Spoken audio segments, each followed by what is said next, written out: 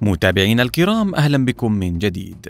كشفت شبكة بلومبرج العالمية أن السعودية تسعى لرفع الأسعار المحلية للوقود والوقود النفاث مطلع نوفمبر القادم في إطار خطة السعودية للحد من الإنفاق الحكومي وتقليل الاعتماد على النفط بعد التراجع العالمي في أسعار النفط.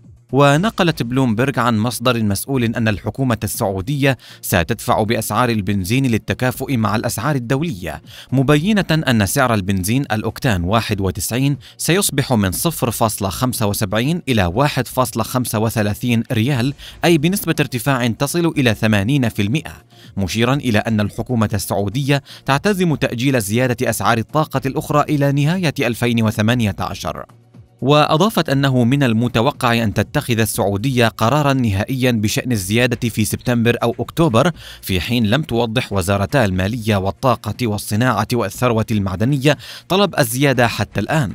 مبينة أن عمليات إصلاح دعم الطاقة تشكل جزءا رئيسيا في برنامج إعادة الهيكلة في السعودية إلى جانب بيع حصص في كيانات مملوكة للدولة بما في ذلك طرح نسبة من شركة أرامكو العملاقة للاكتتاب. لمزيد من الأخبار والتفاصيل زوروا موقعنا على شبكة الإنترنت المربع دوت نت ولا تنسوا الاشتراك في القناة. إلى اللقاء.